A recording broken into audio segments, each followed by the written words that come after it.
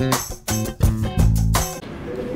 my parents play basketball, so that was the main sport at home, and I really enjoy it every time I touch the ball, and I fall in love with with the with the sport from the first second. I mean, I've been on, the, on doing that way twice.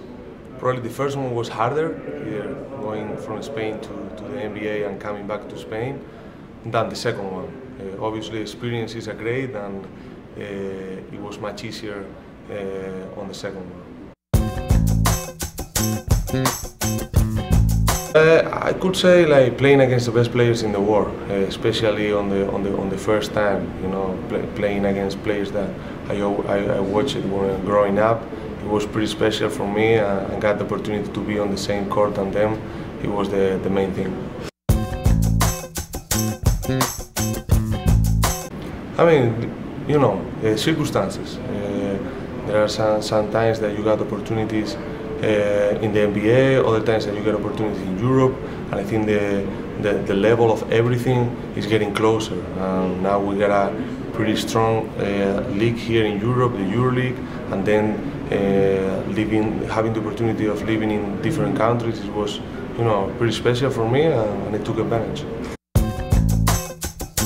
Uh,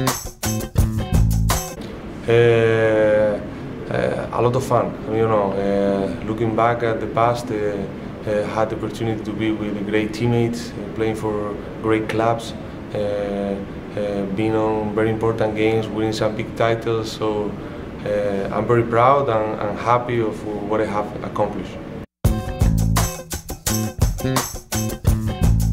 It is very important uh, to be organized. Is uh, one of the best things that we can do. I'm very proud on how we built uh, over the last year, year and a half, uh, and I think it will help everything uh, around the league and in basketball.